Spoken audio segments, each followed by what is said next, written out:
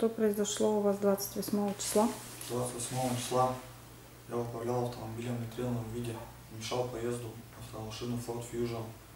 Вас наряд ДПС оформлял в состоянии? Да, при въезде в Верхнем Солду меня оформил наряд ДПС в состоянии алкогольного опьянения. Что Что вам судья вынесла? Судья вынес мне два года лишения прав и штраф в размере 30 тысяч рублей. Перед водителем автомашины Ford Fusion приношу свои извинения, раскаиваюсь в случившемся.